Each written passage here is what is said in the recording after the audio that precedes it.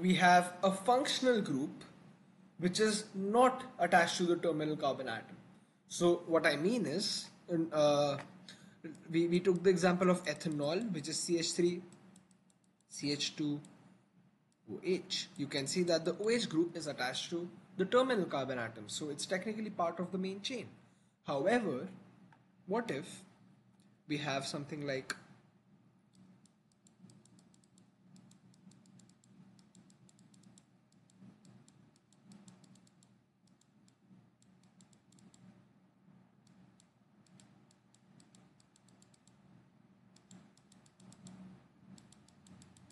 So you can see that there are three carbon atoms. So it's it's it's an isomer of propanol because uh, it's it's actually propan 2 ol because you can see that the alcohol group is on the second carbon atom. So it's propan 2 ol.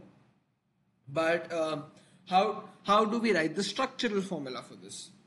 So it's CH3 CH then you put the functional group in brackets OH and then CH3 again. So it's nothing but uh, basically the same thing that you did for the methyl group. Or you can see that this carbon atom I'm pointing at it's bonded to one CH3 here and one CH3 here. So you can write CH3 whole twice you can put these in brackets. And then you can write CHOH so you can either write it like this or write it like this. Both ways are correct. Whatever you find easier you should always go with that so this is how basic, we basically write structural formula, very easy. Now skeletal formula. So skeletal formula is actually the easiest type of formula that I find because uh, it's you basically don't have to make anything. You just have to make some lines and you're done. So the skeletal formula. So let's for example take ethane, which is CH3CH3, ethane. Now in ethane uh, what happens is basically you just make a line. This is the skeletal formula of ethane what I've drawn here. This is actually the skeletal formula. You must be shocked but it's actually a single line because it shows that uh, so so this line signifies the carbon carbon bond.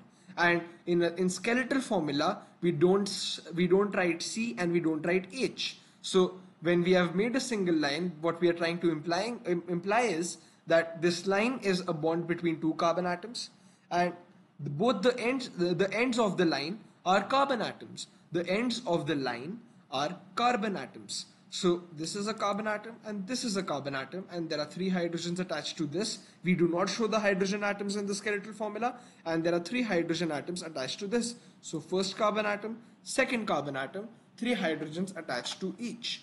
Now to make it more uh, to to explain to you more clearly let's take CH3, CH2, CH3, which is propane. This is the structural formula of propane. So when we write the skeletal formula, it becomes this. So you can see that one carbon atom, second carbon atom, third carbon atom. So you can see that this is a skeletal formula. We have the, the, the ends of the lines are carbon atoms. We don't make a straight line longer and just say that this is second, this is first and this is third because no, we have to make sure that the ends of the line are carbon atoms and that's why we make a zigzag. So we, we, we made a zigzag type of thing over here because we have we need to show that this corner over here, this point is, is, is the second carbon atom. So 1, 2 and 3 and we do not show the hydrogens. Similarly, if we have butane, which is CH3, CH2, CH2, CH3, if we have butane, then we make this. So 1, 2, 3 and 4. You can see 4 ends in total of lines. So this is how we write skeletal formula.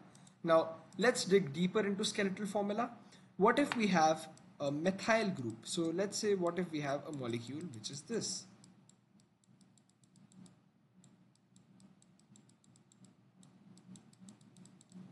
So you can see that one, two, three, four carbon atoms on the main chain and then there is a methyl group attached to the second carbon atom. This is the example that we did when we were doing naming of organic compounds.